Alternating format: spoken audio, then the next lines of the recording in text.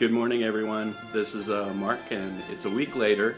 The painting that I did at Irvine Park is dry, and you can see it behind me. And, and I've also got a reference photo, so I can kind of um, imagine what last Saturday was like and fill in the blanks. Today I'm going to finish up the, the painting here in my garage, and now I'll show you how I do that.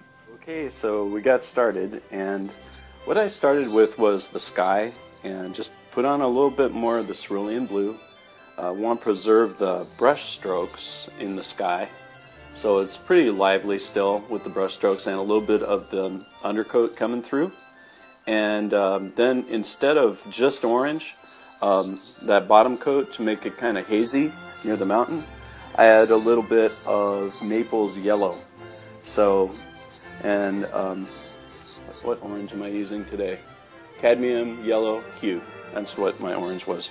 So having fun with it so far, but that's what we got going. The sky's pretty much done, and uh, back to it without getting any paint on my phone.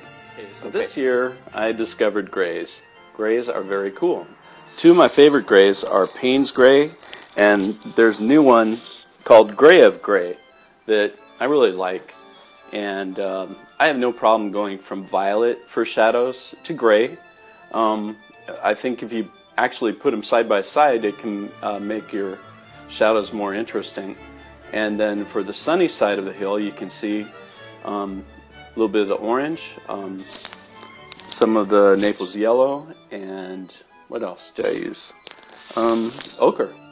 So just uh, makes the the hill pop out a little bit more. And now I'm going to start on the trees and shaping the trees. Okay, so that was where we were going. And so far, this is where we got.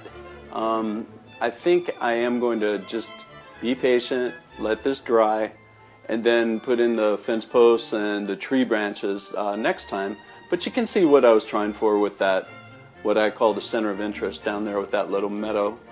And you can barely see it up here. He was, it was way down there by the top of that post.